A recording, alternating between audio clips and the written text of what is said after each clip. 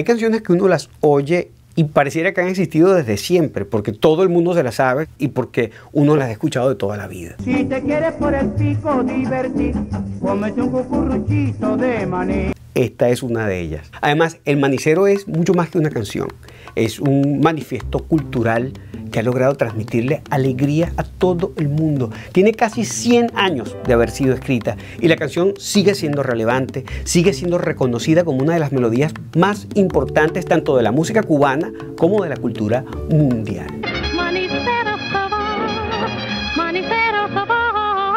Otra cosa muy importante es que el manicero representa el espíritu de un pueblo que ha sabido resistir y mantener su identidad en medio de la adversidad. Es un canto a la vida, a la alegría y es una gran evidencia del valor de la música como documento histórico. Hoy quiero compartir contigo la historia fascinante de esta canción legendaria. Yo soy César Muñoz y esto es La Cata Musical.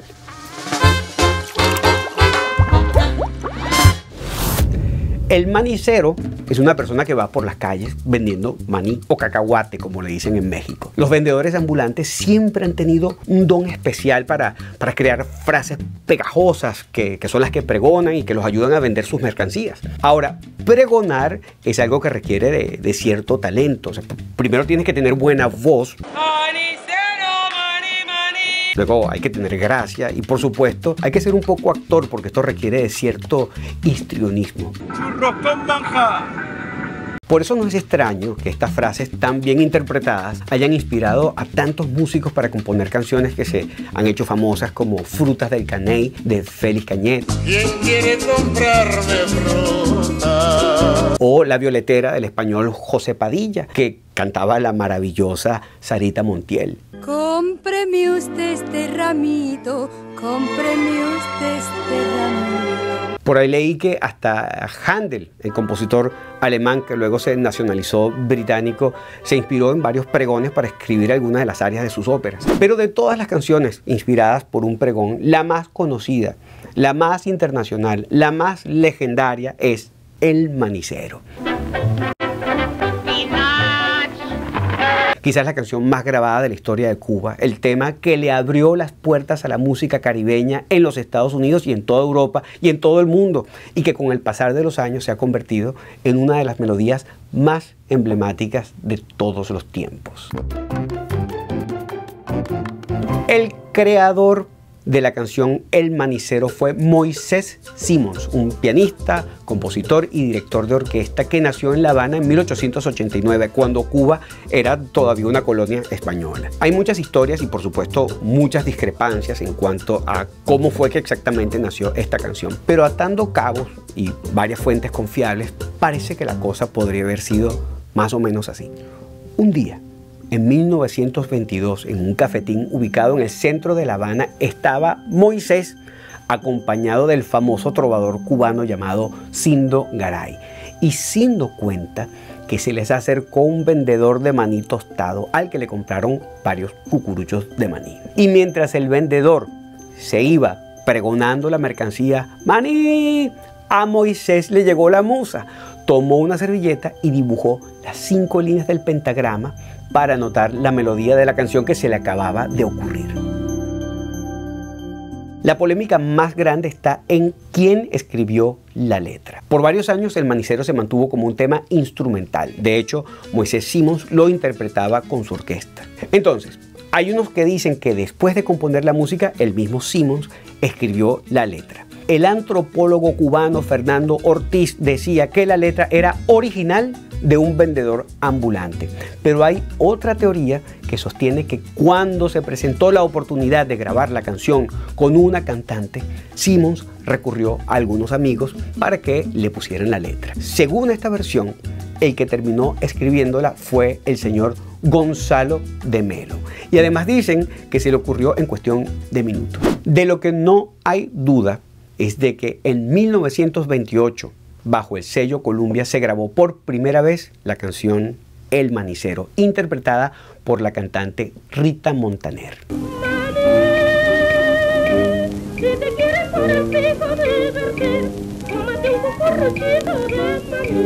La canción se convirtió en un éxito inmediato, pero la persona que la descubrió y se encargó de promover el manicero a nivel internacional fue el estadounidense Herbert Marx, que era el hijo del fundador de una de las principales editoriales de música latinoamericana. ¿Cómo la descubrió? En 1929 este señor estaba de luna de miel en La Habana y el gerente del hotel, de donde se estaba hospedando, se la presentó.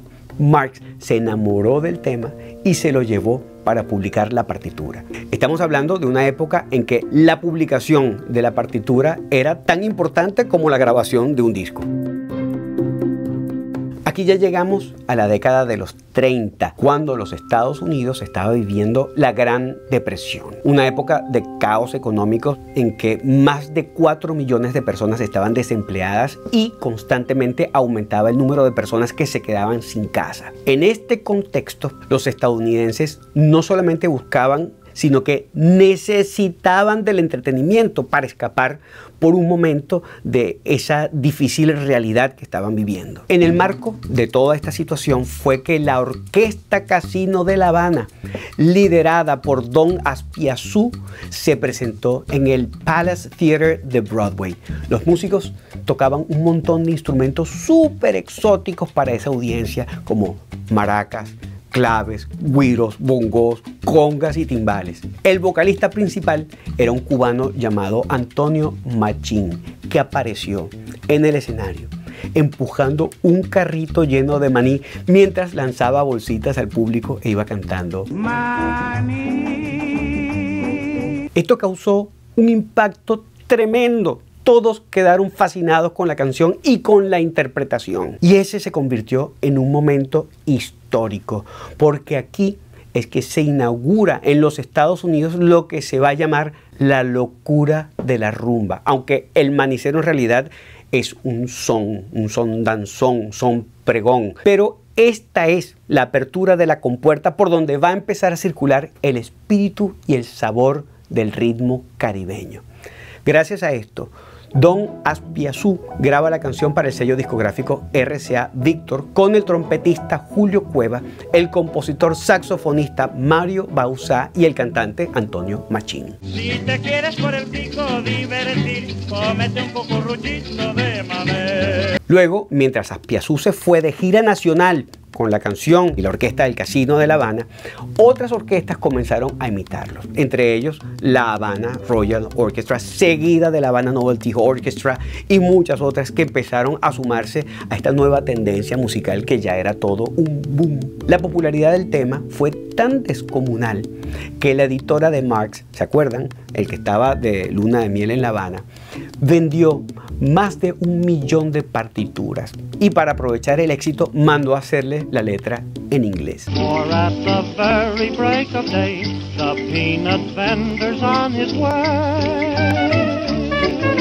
Esta adaptación permitió que The Peanut Vendor escalara aún más alto en las listas musicales estadounidenses y se convirtiera en todo un fenómeno cultural. Una de las primeras grabaciones realizadas en los Estados Unidos fue hecha por la orquesta de Louis Armstrong.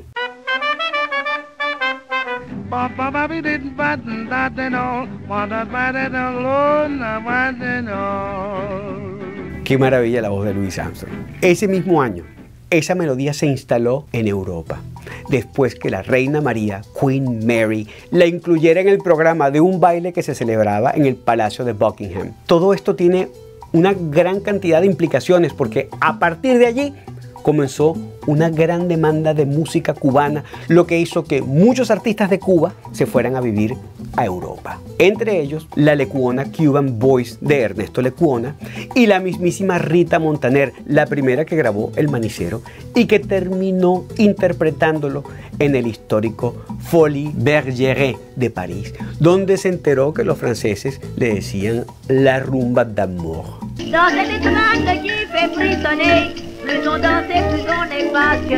El ilustre escritor y musicólogo cubano Alejo Carpentier, quien por cierto estuvo bastante cerca en el momento del nacimiento de la canción, dijo, todo el mundo tiene un disco de nuestro manicero nacional. Ha invadido Berlín, Bélgica, se escucha en Palestina, sus maracas suenan junto a los puestos de fritura que hacen toser a la gran esfinge de Egipto.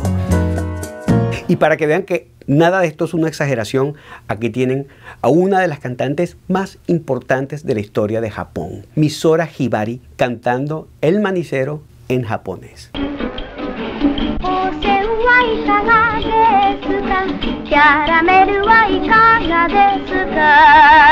Lo que más me gusta es la cara del público.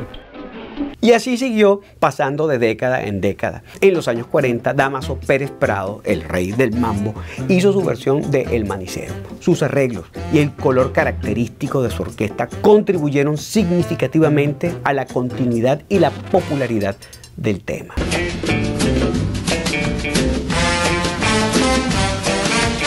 En los años 60, los Beatles grabaron una versión informal de El Manicero durante las sesiones de Let It Be, que, aunque no es la versión más conocida, es un claro ejemplo de cómo el manicero ha influido en la música popular a lo largo de los años.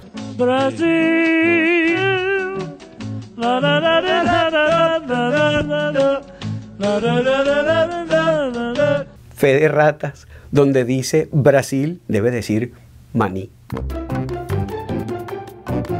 Esta historia del manicero nos, hace pensar en, varias cosas. Primero, eh, nos demuestra la capacidad de una melodía sencilla para unir a personas de diferentes culturas y crear un lenguaje universal que trasciende las barreras del idioma y la geografía. Por otro lado, nos recuerda la importancia de preservar y celebrar nuestras raíces culturales mientras abrazamos la diversidad y la riqueza de la música global. También nos hace ver el poder de una canción para conectarnos con nuestra esencia y celebrar la vida a través de la música. Por todo esto, el manicero ha dejado una huella imborrable en nuestra historia musical. Yo soy César Muñoz y esta fue la historia del manicero en La Cata Musical.